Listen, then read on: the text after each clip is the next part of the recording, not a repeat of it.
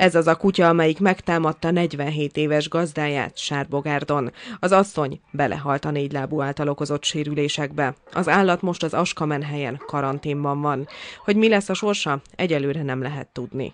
Itt erre utaló jeleket nem mutat a kutya, de nem is úgy viselkedik, mint, mint egy normális, egészséges kutyának kellene.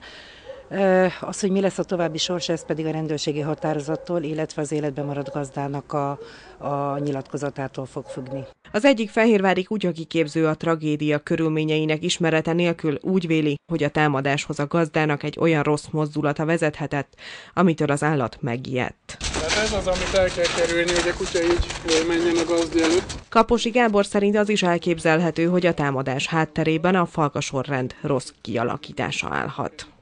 Oda kell figyelni például a lakásban érkezés sorrendjére, tehát ez nagyon fontos, ezt sokan elhibázzák.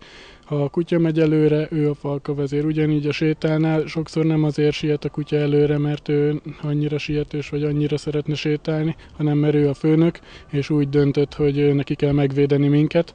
Ha mi nem vagyunk erre képesek, mindig ő lesz elől. Kaposi Gábor azt is elmondta, hogy a kutyával való biztonságos együttéléshez nélkülözhetetlen az ilyen szabályok betartása. Hogy mi okozhatta ezt a tragédiát, a rendőrség még vizsgálja.